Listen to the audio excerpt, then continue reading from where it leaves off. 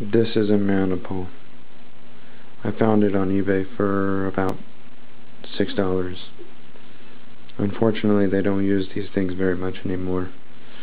This one is in very good condition, and um, another unfortunate reality is that finding vestments that match it will not be easy. But hopefully I can use it as a pattern to make more of them with matching vestments.